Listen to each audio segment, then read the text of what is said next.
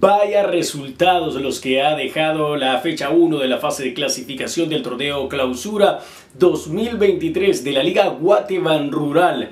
¡Qué sorpresas! Coméntenos, cuéntenos qué les ha parecido este arranque del campeonato. Estos son los resultados, la tabla de posiciones y la próxima jornada.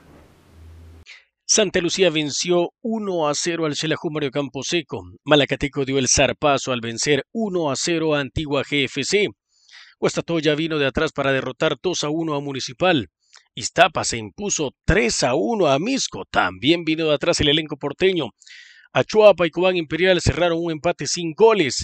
Y Comunicaciones ante Chinabajul también tuvieron un empate sin goles. Con estos resultados, la tabla de posiciones la lidera Iztapa con tres puntos, una diferencia de dos. Le sigue Guastatoya, Malacateco y Santa Lucía con tres puntos y una diferencia de uno. Achuapa es quinto con un punto. Cobán Imperial también tiene un punto. Comunicaciones y Chinabajul con una unidad.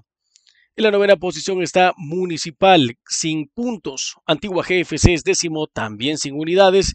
Xelajú MC es un décimo. Y Misco en el sótano. La próxima jornada se disputará el próximo fin de semana. El sábado, Municipal irá ante Santa Lucía Cochumalguapa. Cobán Imperial enfrentará a Antigua GFC. Mixco irá ante Achuapa.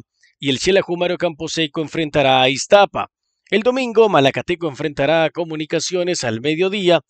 Y desde las 17 horas, China Bajul recibirá a Guastatoya en el cierre de la jornada 2 del torneo clausura de la Liga Guate Van Rural. Recuerden seguirnos a través de nuestras diferentes redes sociales y actualizarse las 24 horas del día en guatefutbol.com.